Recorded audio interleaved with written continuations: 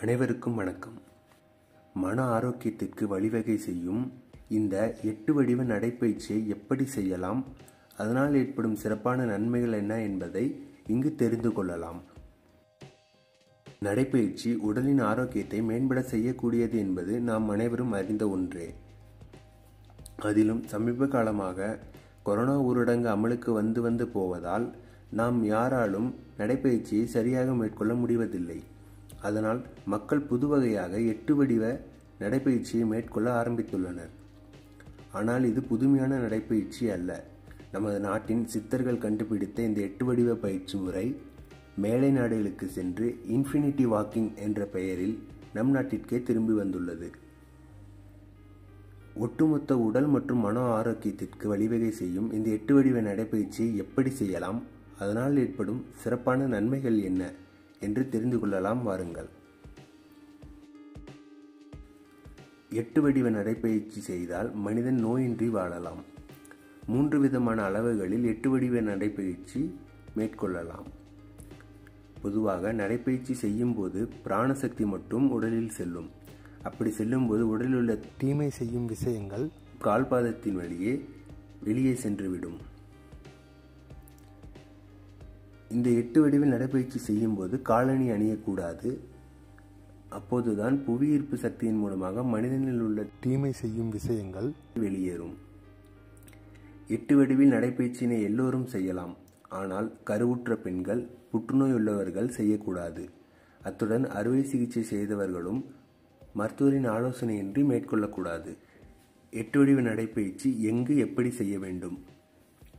மண் தரை சிமெண்ட் தரை தார் ரோடு சிமெண்ட் ரோடு போன்ற இடங்களில் செய்தால் நல்ல பயன் கிடைக்கும்.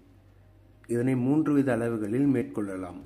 முதலாவது நான்கு அடி அகலம் ஐந்து அடி நீளம். இரண்டாவது ஆறு அடி அகலம் ஒன்பது அடி நீளம். மூன்றாவது ஆறு அடி அகலம் பதினைந்து அடி நீளம் என மூன்று வகை அளவுகள் இருக்கிறது.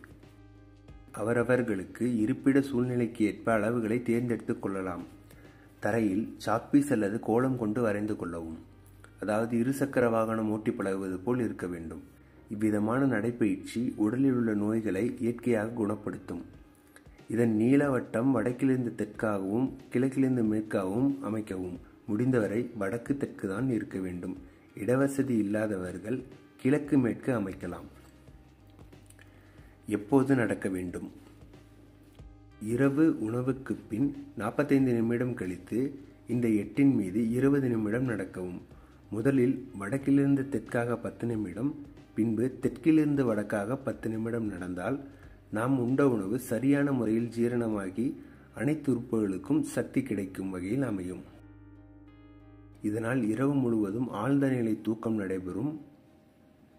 காலையில் மலச்சிக்கல் இருக்காது மனம் ஒருநிலைப்படும். எட்டு வடிவில் நடைபயிற்சி செய்வதால் இயற்கையாகவே உடலில் உள்ள அனைத்து வகை நோய்களும் நீங்கும் என்று நம் முன்னோர்களும் சித்தர்களும் கூறியுள்ளனர்.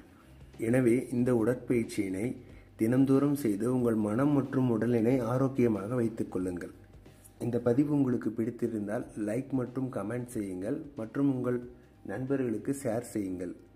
மேலும் இது போன்ற வீடியோக்களை காண மறக்காமல் தமிழ் இன்ஃபோ த்ரீ சிக்ஸ்டி சேனலை சப்ஸ்கிரைப் செய்யுங்கள். நன்றி. இந்த நாள் இனிய நாளாய் அமையட்டும்.